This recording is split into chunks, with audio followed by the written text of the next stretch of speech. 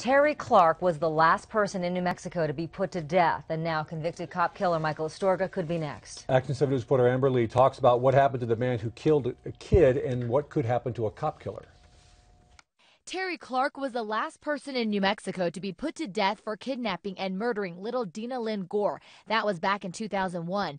Eight years later, in 2009, New Mexico abolished the death penalty. Before the repeal went into effect, Michael Astorga was indicted for the murder of Bernalillo County Sheriff's Deputy James McGrane.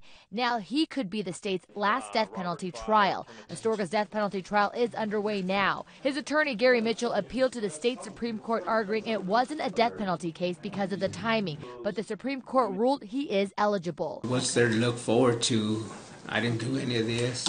Look at what I've been going through for the last six years. But before child killer Terry Clark was lethally injected in 2001, he sat on death row for 15 years after the crime. Action 7 News was there in 2001 when Clark was ready to accept responsibility for his crime.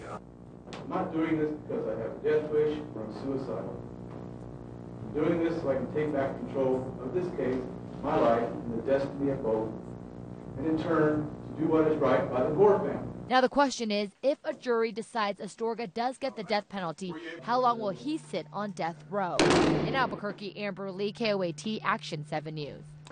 If a jury finds Astorga intentionally murdered Deputy James McGrane, the DA will start arguing for the death penalty.